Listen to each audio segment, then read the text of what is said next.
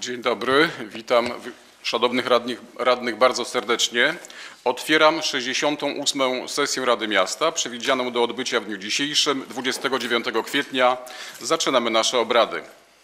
Witam Wysoką Radę, witam wszystkich radnych przybyłych na dzisiejszą sesję. Witam pana burmistrza, pana Jacka Kostkę, witam pana sekretarza, pana Andrzeja Worobca, witam panią skarbnik, panią Edytę Jarmoluk, witam pana e, Drymucha Edwarda, który przybędzie na pewno i witam również panią Agnieszkę e, Gorzycką, e, kierownika naszego MOPS-u. Informuję, że proko- prokotulantem dzisiejszych obrad będzie pani Sylwia Staszewski, Staszewska. Prowadzeniu dzisiejszej sesji pomagać mi będą pani wiceprzewodniczącą pani mm, e, Anna Piszczek i Grażyna Sawicz.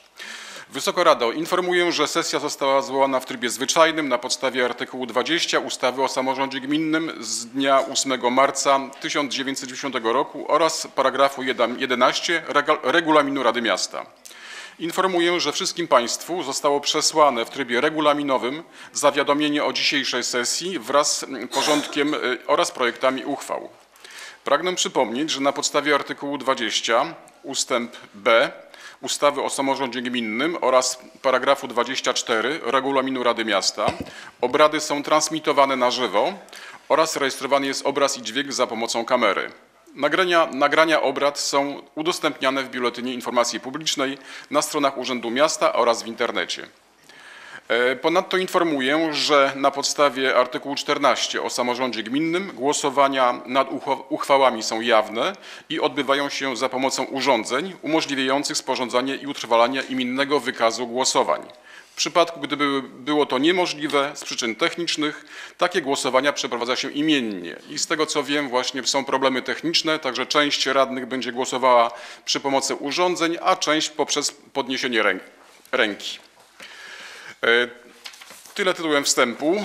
E, Szanowna Rada otrzymała e, dzisiejszy porządek obrad, który przedstawia się następująco. Otwarcie i stwierdzenie prawomoc- prawomocności obrad. Informuję, że na podstawie listy obecności, którą mam tu przed sobą, na dzisiejszej sali jest obecnych 14 osób. Brakuje pana Narkiewicza Rafała. Przedstawienie porządku obrad, który przedstawia się następująco. Przyjęcie protokołu z 67. sesji Rady Miasta, informacja z prac burmistrza między sesjami oraz realizacji uchwał Rady Miasta. Mamy do podjęcia, e, Szanowna Rado, dzisiaj jedną uchwałę. Będzie to uchwała w sprawie przyjęcia sprawozdania z działalności Miejskiego Ośrodka Pomocy Społecznej w Górowie i Ławeckim za rok 2023, dlatego mamy dzisiaj obecną panią kierownik. Przewidziane są sprawy różne i zamknięcie obrad 68. sesji Rady Miasta. Tak wygląda dzisiejszy porządek obrad. Czy ktoś z Wysokiej Rady miałby uwagi do dzisiejszego porządku? Nie widzę. Przechodzimy do przegłosowania. Kto z pań i panów radnych jest za przyjęciem porządku obrad? Zechce zagłosować. Proszę zagłosować. Kto może, a kto poprzez Grażynko Policz? 3, 4, 5, 6, 7, 8. Wszyscy są za. Dziękuję bardzo. Wygląda, że tu już przeskoczyliśmy, ale tutaj już widziałem. Informuję, że porządek obrad został przyjęty jednogłośnie. Dziękuję bardzo. E, Przechodzimy teraz, e, Szanowna Rado, do przyjęcia protokołu z 67 sesji Rady Miasta. Informuję, że wszystkim Państwu na skrzynki e, służbowe, mailowe zostało przesłane protokół z 67 sesji Rady Miasta. Jest również do wglądu i jest w dalszym ciągu do wglądu na, podczas dzisiejszej sesji w Biurze Rady. Czy ktoś z Wysokiej Rady, Szanownej Rady miałby uwagi do tego protokołu? Nie widzę. Przechodzimy do przegłosowania. Kto z pań i panów radnych jest za przyjęciem protokołu z 67 sesji Rady Miasta? Zechce zagłosować. Grażynko. Raz, dwa, trzy, cztery, pięć, sześć, siedem. Raz, dwa, trzy, cztery, pięć, sześć, siedem i sześć, czternaście. Dziękuję bardzo. Informuję, że porządek obrad został przyjęty jednogłośnie. E, W punkcie czwartym mamy mm, zaplanowaną informację z prac burmistrza między sesjami, sesjami oraz realizacji uchwał Rady Miasta. Bardzo proszę pana burmistrza o przedstawienie takiej informacji. Szanowny Panie Przewodniczący, Wysoka, Wysoka Rado. e, W bieżącej kadencji Wysoka Rada podjęła 423 uchwały, z czego zostało zrealizowanych 371, a 52 uchwały znajdują się na etapie realizacji. I tak najważniejszym wydarzeniem pomiędzy sesjami były wybory. Serdecznie gratuluję wszystkim radnym, którzy uzyskali reelekcję. Szczególnie gratuluję panu Maciejowi Chorakowi, który został naszym miejskim radnym powiatowym. Gratulacje Maciej. E, Natomiast radnym, którym się nie udało, bardzo dziękuję za ciężką pracę w tej kadencji, bo naprawdę no, i będzie to wspominać. E, Jeśli chodzi o miejskie inwestycje, to jak wszyscy pewnie widzieli, rozpoczęła się praca już nad e, ulicą Inwalidów Wojennych i e, nadbrzeżną. Tam w tej chwili są kładzione instalacje podziemne. Następna, następnym krokiem będzie analogiczne, e, będą na- analogiczne działania wokół placu ratuszowego, także to wszystko jeszcze tej wiosny. E, A w tej chwili jesteśmy także w trakcie przygotowywania e, dokumentacji, sprawdzania pewnych rzeczy, jeśli chodzi o pozostałe nasze planowane na tą kadencję inwestycje. Dzisiaj trwają prace nad określeniem zakresu na przykład instalacji gazowej na osiedlu na ulicy Nowej na Olsztyńskiej czy na Lizbarskiej, także tych prac jest naprawdę sporo, ale generalnie wszystko jest w terminach. e, Przetargi zostaną ogłoszone e, no, w wymaganym ustawowo e, terminie. E, Udaje nam się, że tak powiem, e, procedować zgodnie z harmonogramem prac wiosennych. Większość miasta jest już posprzątane. E, Czekamy w tej chwili już na przyjazd elektryka, żeby podłączyć instalacje elektryczne w naszej tężni, która, tak jak mówiliśmy, będzie na długi weekend funkcjonowała, jeżeli oczywiście nic się nie wydarzy. I jeśli chodzi o fontannę, też chcemy ją. No, jeden przyjazd elektryka, tak, bo w, mieście nie mamy. Będzie to pan z Bartoszyc nam ogarniał. Mm, Tyle jeśli chodzi o, o takie naj, naj, najbardziej, że tak powiem, sprawozdanie z ostatniego miesiąca. A ja chcę Wam, Szanowni Państwo, podziękować za tą kadencję, bo to było 5,5 roku ciężkiej i trudnej pracy, wielu trudnych decyzji, e, ale myślę, że wszyscy stanęliśmy na wysokości zadania. E, Za co Wam serdecznie dziękuję, bo bez wsparcia Rady, bez e, tej kolektywnej mądrości, którą udawało nam się e, wspólnie generować, no myślę sobie, nie poradzilibyśmy sobie z tymi wszystkimi wyzwaniami. Bo to była najdłuższa kadencja w historii, słuchajcie. 5,5 roku. No i tak jakby chronologicznie wspomnieć najważniejsze punkty, to od najprzyjemniejszego, dziesiąty Festiwal Miast Citaslow udało nam się godnie w Górowie Ławeckim gościć przedstawicieli blisko 30 samorządów z całej Polski. Ten festiwal do dzisiaj jeszcze przez żadne miasto, jeśli chodzi o e, jakość przygotowania, nie został pobity, wiem co mówię. Mm, Udało nam się też, e, moi drodzy, poradzić sobie e, z problemami, które generowała pandemia na terenie miasta. E, Bardzo duża zasługa jest tutaj naszych druhów z OSP, którzy zabezpieczali, e, dezynfekowali, no byli w pogotowiu. Ale też, nie wiem czy pamiętacie, udało nam się zadbać o punkty szczepień, o promocję szczepień. E, Udało nam się dystrybuować maseczki wśród mieszkańców. E, Więc te wszystkie zadania, które, które stanęły przed naszym samorządem na etapie pandemii, udało nam się zrealizować na tyle skutecznie, że nawet, nie wiem czy pamiętacie, dostaliśmy premię za szczepienia, którą wydaliśmy na dodatkowe prace e, przy remoncie przede wszystkim naszej szkoły podstawowej. E, No a potem przyszła wojna, wzrost cen, ale mimo to udało nam się zrealizować bardzo wiele potrzebnych dla naszego miasta inwestycji. E, No dosyć wspomnieć tutaj inwestycje drogowe, poczynając od tej najważniejszej, która skomunikowała nasze miasto ze światem, czyli 512. To nie była co prawda inwestycja naszego miasta, ale partycypowaliśmy w niej finansowo. Udało nam się wykonać e, przy tej drodze powstającej przy naszym mieście chodnik zgodnie z wnioskami mieszkańców. E, A potem dobra współpraca z powiatem, udało nam się wyremontować ulicę Sikorskiego, Krasickiego, no i wiele miejskich dróg. A te inwestycje dzięki zabezpieczonym w tej kadencji mijającej środkom będziemy kontynuowali w tej, która właśnie się za chwilę rozpocznie. Udało nam się wyremontować ośrodek kultury z pewnymi kłopotami, ale jesteśmy na etapie procedury, która powinna e, doprowadzić ten budynek do porządku, ale przede wszystkim też udało nam się wyremontować kompleksowo e, budynek szkoły podstawowej przy ulicy Szkolnej. Także tych zadań, które zrealizowaliśmy w poprzedniej kadencji, było bardzo dużo. Mm, No i warto wspomnieć też o wojnie na Ukrainie, która dotknęła w ten czy inny sposób nas wszystkich.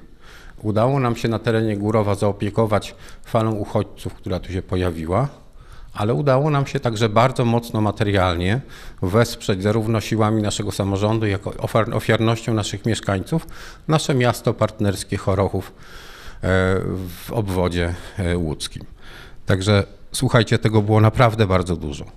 Bardzo długie, 5,5 roku, bardzo owocne, za które serdecznie chcę wszystkim podziękować. Przede wszystkim chcę podziękować panu przewodniczącemu, ale też każdemu z was osobno, bo każde słowo wsparcia, ale także każde słowo krytyki po- powodowało, że no, tym miastem się zarządzało lepiej. Bardzo, bardzo serdecznie państwu dziękuję. E, Dziękuję panu burmistrzowi. E, Czy ktoś z szanownej rady miałby pytania w tym temacie? E, Nie widzę. Szanowni radni, pozwólcie, że przed tym dużym punktem podjęcia uchwały w sprawie sprawozdania z Miejskiego Ośrodka e, Kultury, przepraszam, Miejskiego Ośrodka Pomocy Społecznej, mm, przeczytam tutaj i chciałbym, żeby to wybrzmiało. E, Szanowni radni, po długiej i ciężkiej chorobie w wieku 64 lat odszedł od nas wicemarszałek województwa warmińsko-mazurskiego, samorządowiec Miron Sycz. Świętej pamięci Miron Sycz był posłem na Sejm Rzeczpospolitej szóstej i siódmej kadencji w latach 2007-2015. Był również wicemarszałkiem Warmii i Mazur w latach 2015-2024. Całe życie był związany z Górowem i Ławeckim. Tu jako nauczyciel rozpoczynał karierę zawodową. 10 listopada 2023 roku decyzją radnych podczas uroczystej sesji Rady Miasta i Gminy Górowo i Ławeckie z udziałem bardzo wielu dostojnych gości oraz licznie zgromadzonej publiczności decyzją radnych odznaczony został tytułem Honorowy Obywatel Miasta i Gminy Górowo i Ławeckie za zasługi na rzecz rozwoju regionu i ziemi górowskiej. E, Świętej pamięci Miron Syc zawsze powtarzał ze mną w rozmowie, że jest to dla niego najcenniejsze wyróżnienie. Proszę o powstanie i, uczcie, i uczczenie minutą ciszy świętej pamięci Mirona Sycza, honorowego obywatela miasta i gminy Górowo i Ławeckie.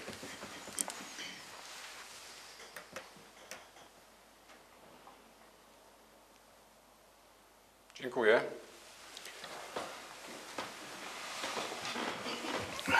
Szanowna, ra, szanowni radni, przechodzimy teraz do dużego punktu piątego. Podjęcie uchwały w sprawie przyjęcia sprawozdania z działalności Miejskiego Ośrodka Pomocy Społecznej w Górowie i Ławeckim.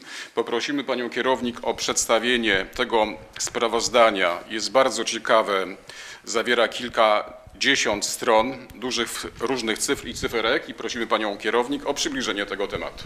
E, Dzień dobry, witam Państwa bardzo serdecznie.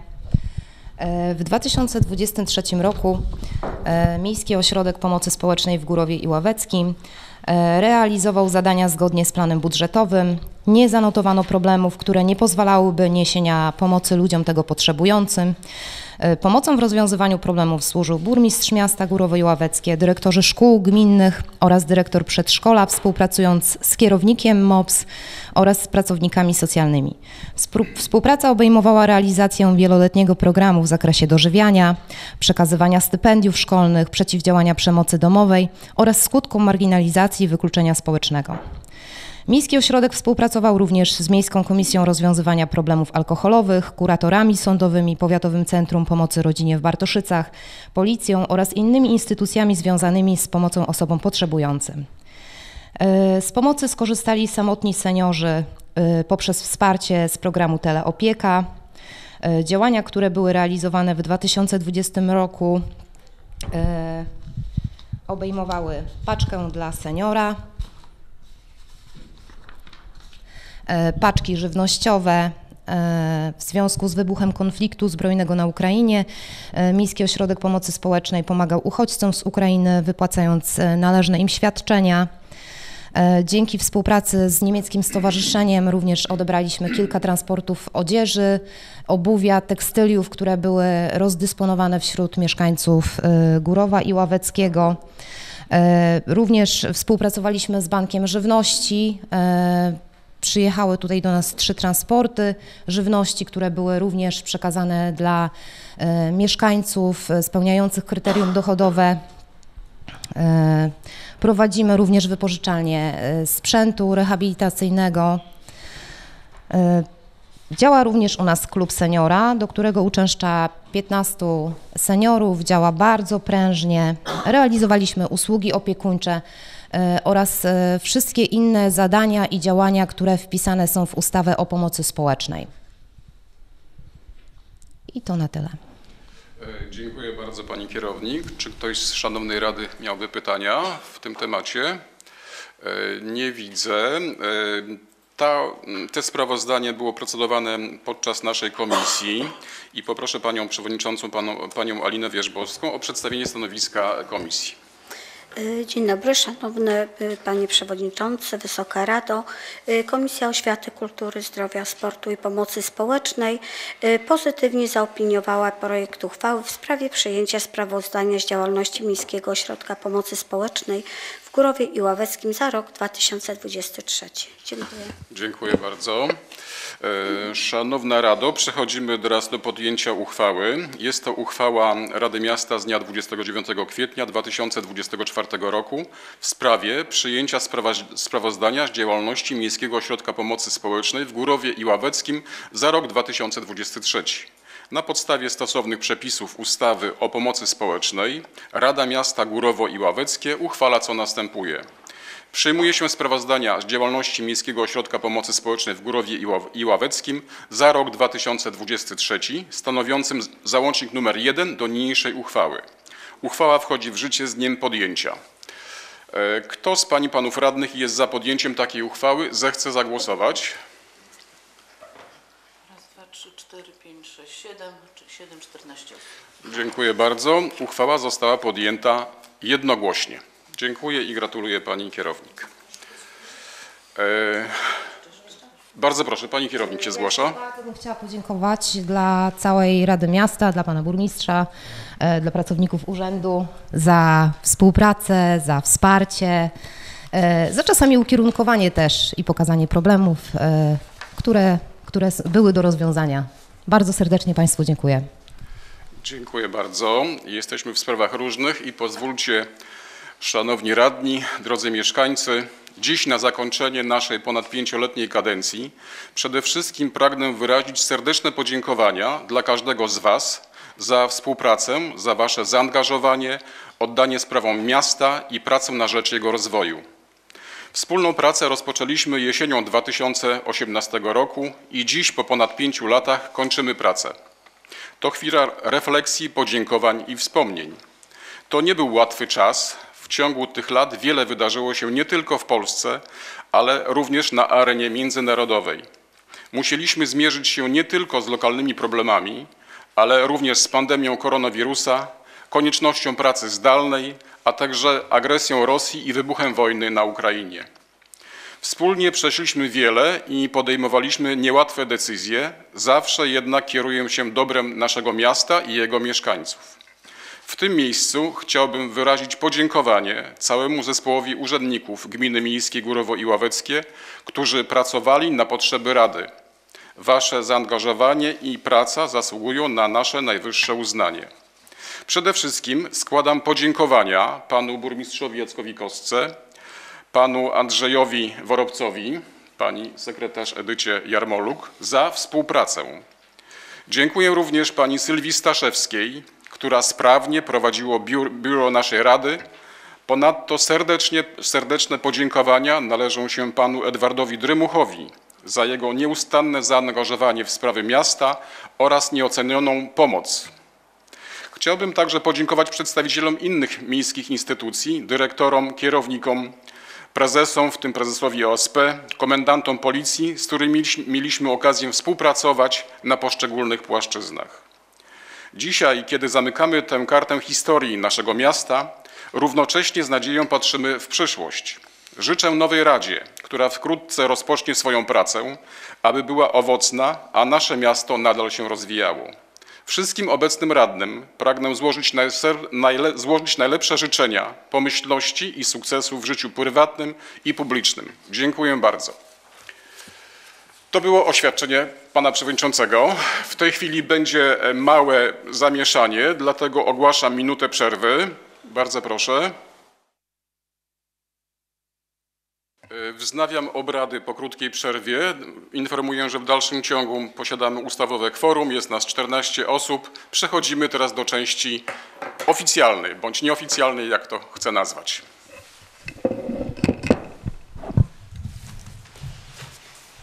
Ja podziękowania zacznę od pana przewodniczącego. Drogi Andrzeju, wielkie dzięki za te 5,5 roku Dziękuję bardzo. wspólnej pracy.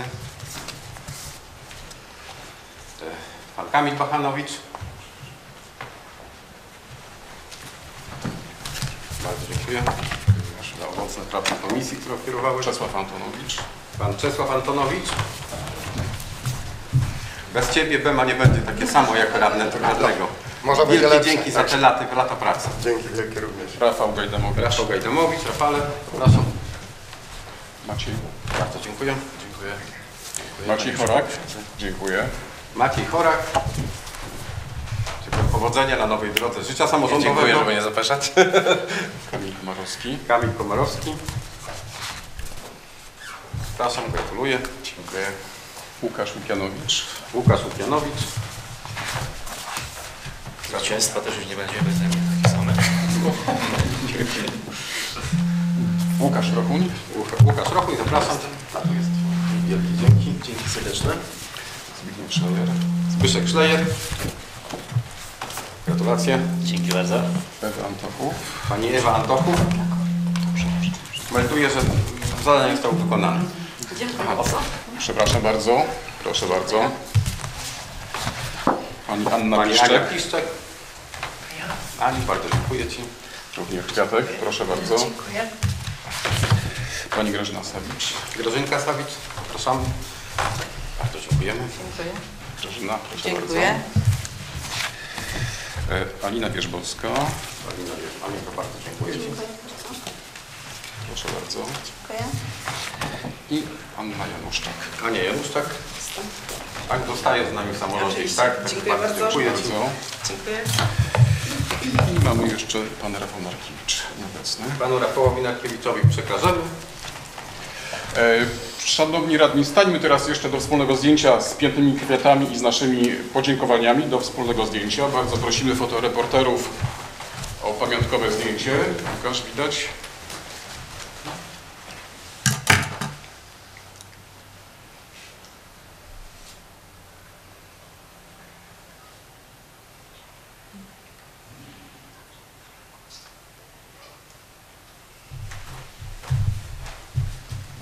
Jeszcze chwilę.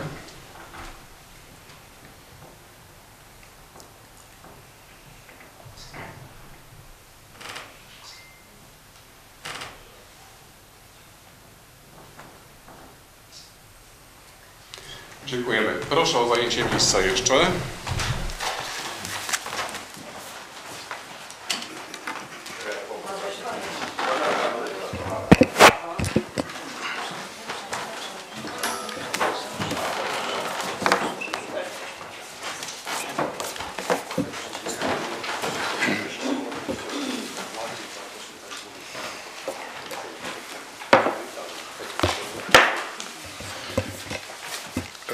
Dziękuję bardzo. Bardzo miły akcent. Dziękuję panu burmistrzowi za e, te dyplomy. Będzie to piękna pamiątka w naszych pewnie rodzinnych albumach. Dziękujemy jeszcze raz.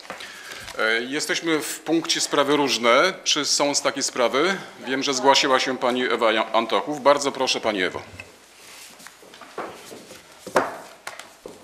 Witam Państwa serdecznie. Wprawdzie Pan e, Przewodniczący już powiedział, jakby to, co ja też chciałam powiedzieć, ale ja też bym chciała bardzo podziękować przede wszystkim właśnie pracownikom Urzędu Miasta, Panu Edwardowi i Panu Jankowi, którzy byli zawsze, e, jakby o cokolwiek się ich poprosiło, było to zawsze załatwione.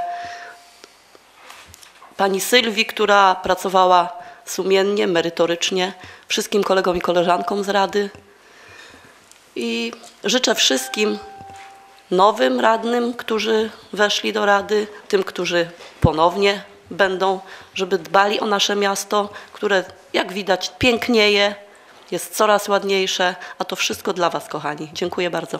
Dziękuję bardzo. Pan Rafał Gajnamowicz się zgłasza. Proszę bardzo, panie Rafale. E, Ja zanim podziękuję Państwu za współpracę, to jeszcze tak na koniec chciałbym złożyć taki wniosek formalny, bo być może zapomnieliśmy o nim, o wszczęcie procedury uruchomienia programu współpracy z organizacjami pozarządowymi na rok 2024.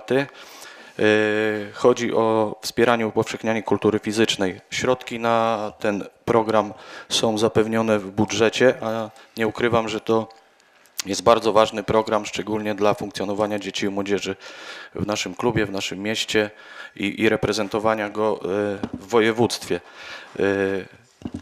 Mam nadzieję, że no, dalsze procedowanie będzie już e, kontynuowała e, nowa Rada Miasta. Liczę na odpowiedzialne i, i, i pozytywne rozpatrzenie tego, tego programu. I tak na koniec chcę również Państwu podziękować za współpracę Panu Przewodniczącemu, Panu Burmistrzowi i Pani Sylwii za te, za te wspólne lata i wspólne decyzje. Bardzo dziękuję. Dziękuję bardzo. I poprosiłbym jeszcze o przegłosowanie tego wniosku.